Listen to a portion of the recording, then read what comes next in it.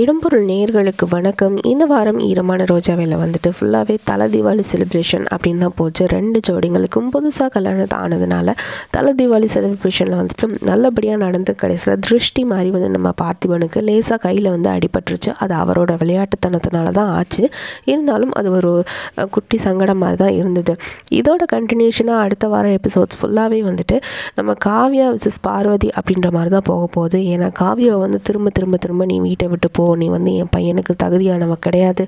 என் ம- வீட்டுக்கு மருமகளாக தகுதியான கிடையாது. அப்படி இப்படின்னு சொல்லி பார்வதி சொல்ல காவியா வந்துட்டு அது அப்படி எப்படி என்னால் போக முடியும்? நீங்கள் தானே பார்த்து கட்டி வச்சீங்க? அப்படின்னு சொல்லி வாக்குவாதம் பண்ணுறதும் இதுக்கு ஏற்ற மாதிரியே ஒரு சுச்சுவேஷனில் வந்துட்டு பார்த்திபனோட ஃப்ரெண்டு வந்துட்டு இந்த மாதிரி லவ் பண்ணோம். ஏற்கனவே லவ் பண்ண பொண்ணு அப்படின்னு சொல்லி கல்யாணத்தை நிறுத்தினாலும் பார்த்திபனே வந்துட்டு அவள் உண்மையாக தானே இருக்கா? அதனால் நீ கண்டிப்பாக கல்யாணம் பண்ணிக்கலாம். அப்படின்னு சொல்லி அவரே கன்வின்ஸ் பண்ணி கல்யாணம் பண்ணி வைக்கிறனால கா காவ்யாவுக்கு இன்னும் கொஞ்சம் சப்போர்ட்டிவாக இருக்குது அப்போ கண்டிப்பாக நம்மளே ஏற்றுக்குவார் அப்படின்ற மைண்ட் செட்டும் இருக்குது ஆனால் பார்வதி அந்த மாதிரி ஒரு மைண்ட் செட் கண்டிப்பாக என் பையனுக்கு வராது.